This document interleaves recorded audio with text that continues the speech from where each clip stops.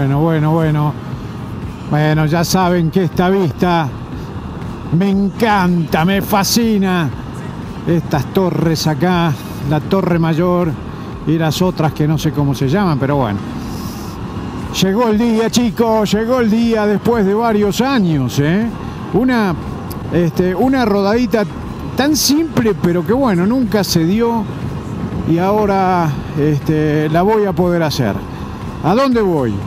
Eh, miren chicos, tengo la verdad que donde puedo meterme a hacer un poquito de camino off-road lo estoy haciendo porque esta moto, la 790, es la que me voy a llevar en julio eh, por, Estados Unidos, por la Transamérica Trail, algo que ya estoy comentando bastante. Y, eh, y cada vez que puedo hacer un poquito de terracería, bueno, ahí le voy metiendo, ahí voy practicando y voy poniendo a prueba, pero todavía estoy terminando de decidir, creo que hoy voy a determinar de decidir qué equipo me voy a llevar, qué llantas le voy a poner a la moto, si es este casco o es otro. Es lo que estoy probando en estas pequeñas rodaditas.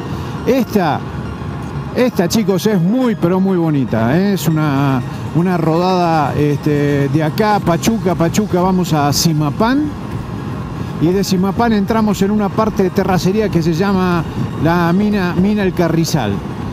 Ese es el tramito, que no es mucho, serán menos de 50 kilómetros que quiero hacer hace muchísimo tiempo. Y hoy llegó el día. Así que lo voy a compartir con ustedes. Thank